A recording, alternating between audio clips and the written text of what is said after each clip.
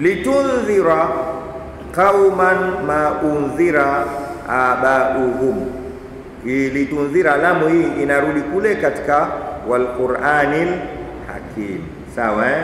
au inarudia hapo tanzila, inarudia kwenye tanzila. Watu, watu wanajua watu wanahau eh? tanzila kwamba tumeuteremsha uteremsho huu au kitabu hiki litundhira qauman, ili upate kuwaonya kwacho kupitia kitabu hichi qauman, watu ambao ma undhira abauhum, hawakuwahi kuonywa baba zao. Waonye hawa ambao baba zao hawakuwahi kuonywa katika kipindi cha fatara, yani kipindi baina ya Isa na Muhammadin sallallahu alayhi wasallam. Kuna watu waliishi pale wanaitwa ahlul fatra. Ahlul wale hawakuwahi kupata ujumbe kama huu. Sasa Mtume Muhammadin sallallahu alayhi wasallam anaambiwa na Mwenyezi Mungu subhanahu wa ta'ala, uteremsho huu umekuja ili upate kuwaonya wale ambao wazee wao hawakuwahi kupata kuonwa. Umeelewa na fahum, basi hawa ghafiluna ni wenye kujighafilisha, ni wenye kughafilika, kwa sababu hawakuwahi kuyapata haya. Kana kwamba kusema, kuna baadhi ya watu unaweza kuona hawa ndio, kwa nini sio Waislamu? Eh, hawa sio Waislamu kwa sababu baba zao hawakuwahi kufikiwa na ulingano. Kuna watu tele anakwambia mimi ndio wa kwanza kwetu, mimi ndio wa kwanza kwetu kuwa ni Muislamu. Sawa sawa, Mtume anaambiwa na Mwenyezi Mungu kuwaonya hawa. Hii haimaanishi kwamba Qur'ani inawahusu watu wale wa Maka tu, haimaanishi hivyo eh? Lakini kwa sababu ndio imeshushwa Qur'ani katika ujirani wao na wale ndio wa kwanza kupokea ujumbe, tumeelewana?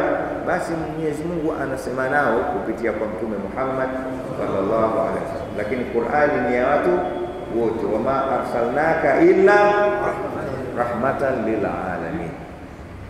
Tumeelewana vizuri? Eh? Usije ukasema ah, hii Qur'ani ya watu wa Maka tu, sisi yatumo Hapana, hii inasema hivi kwa sababu wao ndio walioipokea mwanzo mbele ya Mtume Muhammad.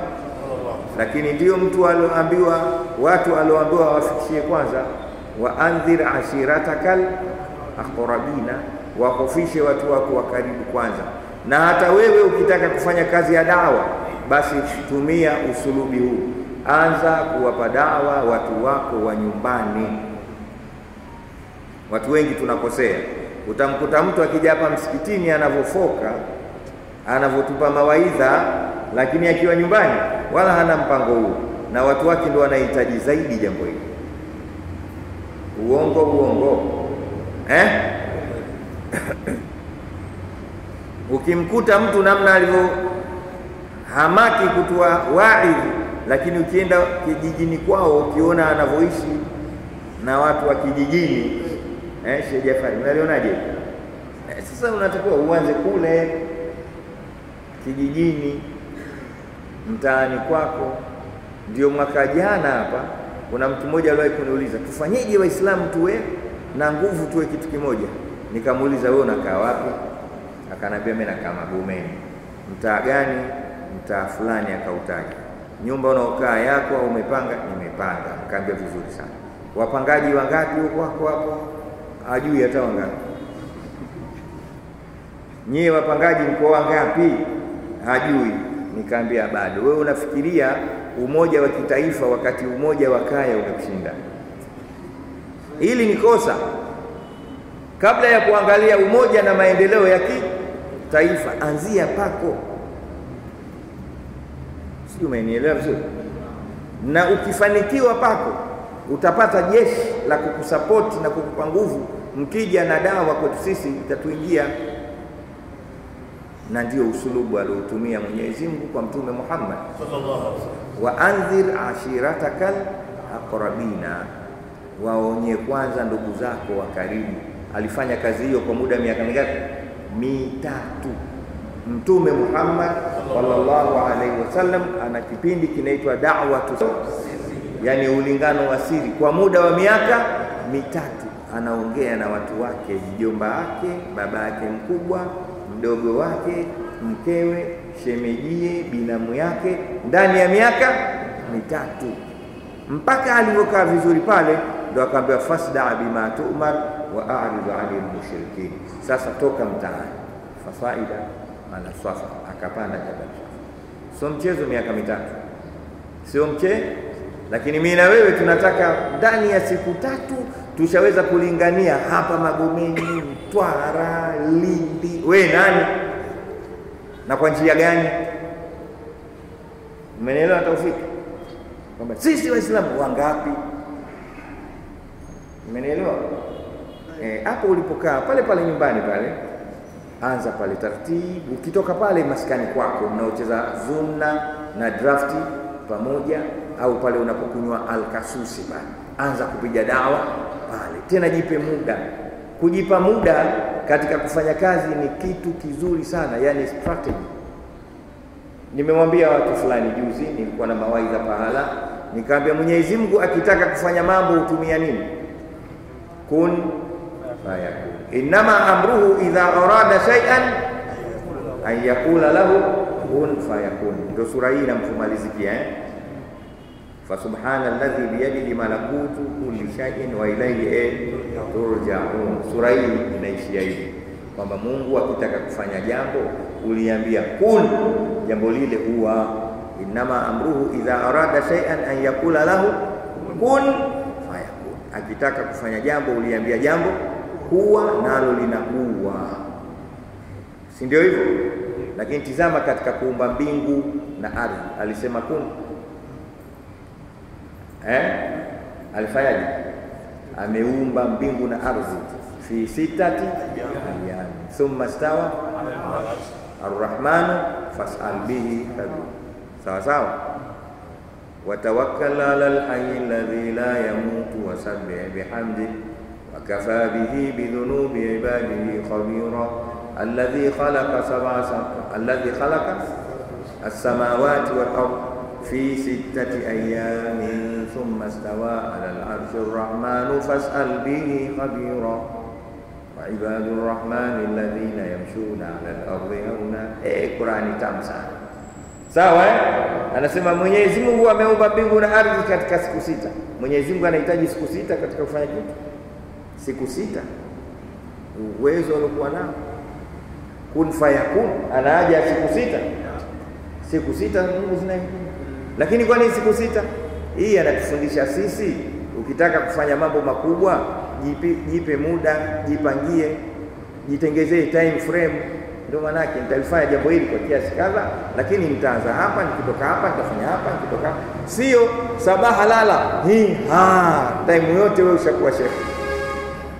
Unataka yani siku ile umepata shahada yako, watu wote wakukubali na elimu uliokuwa nayo wewe. Mbona ukukubalika kwa siku moja?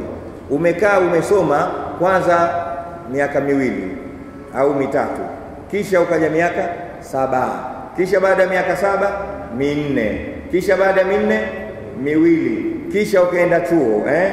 Inategemea kozi, ima miaka mitatu kwa madaktari miaka mingapi? Mitano, kisha ndio umekuja mtaani. Kwa hiyo ukija mtaani kwa elimu iliyochukua miaka yote hiyo, tuhesabu. Mingapi kwanza?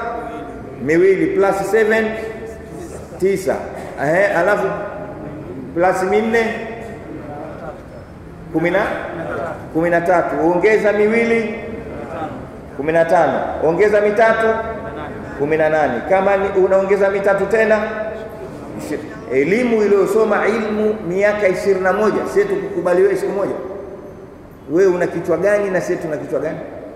Tatizo tuliokuwa nalo sisi wasomi na mashehe, sisi elimu umeikimbiza miaka ishirini na moja. Siku ukipanda juu ya memba, siku hiyo hiyo ukiwaambia watu unataka watu wote kwambia walidi yoyaoya wena ah, we nani?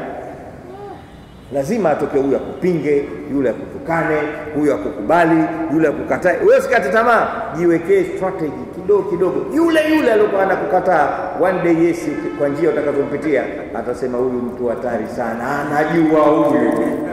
Mmenielewa vizuri? Usikurupuke, sijui mnanielewa.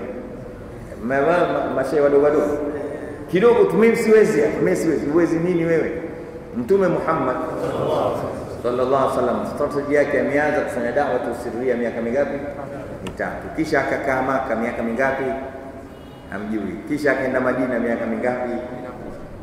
Yani lazima ujue hilo, na alifanya mambo kidogo kidogo. Alikuja mtu kama Saidna Umar siku moja kamkuta Mtume Muhammad sallallahu alaihi wasallam amekaa katika moja ya viguzo vya Alkaaba wakati yuko Maka, hajahamia Madina bado, kajifunika mtandio wake mwekundu kama vile mtu mwenye huzuni. Na Saidna Umar ilikuwa tayari kesha silimu, akamwambia ya Rasulullah, alasna ala alhaq, mbona umekaa kiunyonge? Kwani si hatuko kwenye haki? Tutoke tukawakatakate vichwa mara moja, kata huo, pigani.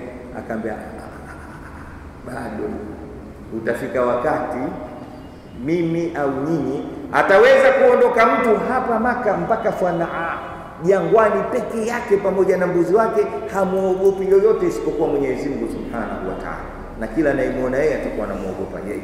Ulifika ukufika wakati, lakini vurugu wamepanga kidogo kidogo, na sio Mwenyezi Mungu atufikishe hapo. Lazima tuwe tuna moyo wa kutahammal, moyo kuna kitu inaitwa tahammuli nafsi. Ukikosa tahammuli nafsi, wewe mtu wa dawa utafeli, kwa sababu binadamu hawa wako wengi na kila mmoja anakuja na staili yake. Huyu fedhuli, huyu jeuri, au watu wawili tofauti eh? Huyu fedhuli, huyu jeuri, huyu kiburi. Wangapi huyo? Watatu. Huyu bahaluli, wangapi huyo? Huyu safihu, wangapi huyo? Huyu jahili, wangapi huyo? Huyu ahmaki, wangapi huyo? Hawa ni mafungu ya watu wasiojua kitu. Kuna ahmaki, kuna jahili, kuna safihi, wote wajue kwamba ah, hii ndio eh, safihi type, ujue namna kwenda naye.